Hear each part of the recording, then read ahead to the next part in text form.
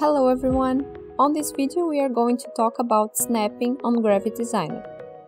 Snapping is a feature that assists you on placing and aligning objects through the canvas.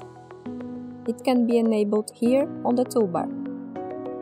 When you drag an object, as you approach a position of alignment with another object or the page, the object will snap to the alignment position, and snapping guidelines will indicate the alignment position being used.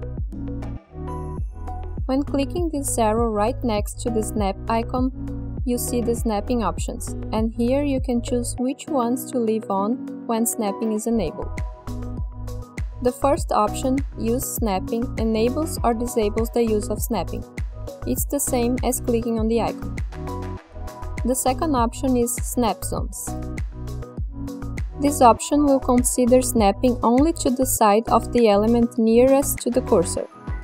For example, here you can see that only the side being dragged is activating the snapping guidelines.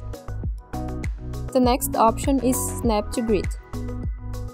With this setting on and the grid showing, objects, tools and selections will snap to the grid lines. The next option is Snap to Guidelines. With this option enabled, objects will snap to visible guidelines on the canvas.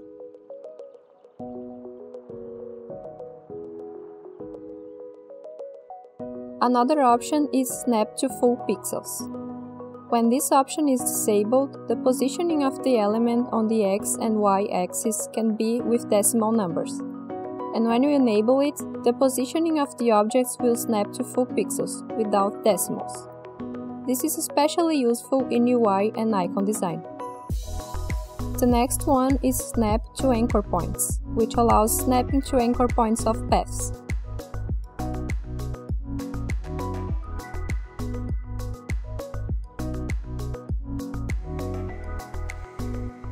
The next option is Snap to Shapes, allowing the snapping to bounding boxes, sides, or center of other shapes. The last snapping option is Snap to Page, allowing the boundaries of the page to be points of snapping. The other options here on this dropdown are related to the canvas Show Grid, Show Guidelines, and Show Symbols Labels.